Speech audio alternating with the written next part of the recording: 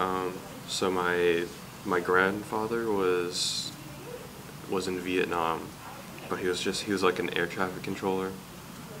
Um, he never really saw combat that much, but he described a lot of like the horrible things that happened and like how a lot of veterans are treated and all that stuff.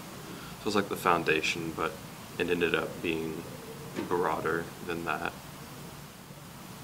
To be honest, there's not really a structure. It's just each stanza is like covers its own idea. So that's as far as that goes. What do you want to communicate through this piece? Um. Well, there's not. There's there was never something that I intended to communicate, but you could you could see like kind of like anti-war stuff. You know what I mean?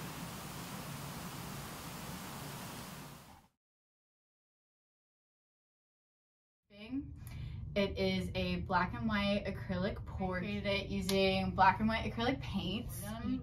I just thought it would be cool to make one day because I hadn't done a black and white piece before using just black and white paint.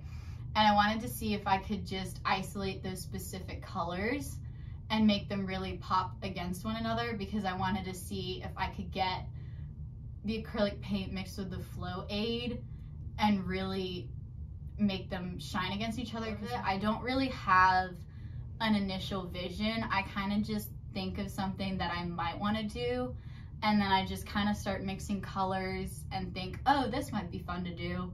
And so then I just mix some whites, mix some blacks, and then pour this and then paint that. And then I go with the flow and then I might add paint and then I might add a bit too much and then it kind of turns out. So it really did come out how I wanted it to and kind of give the effect of that contrast that I really wanted it to have. So it did turn out how I wanted it to.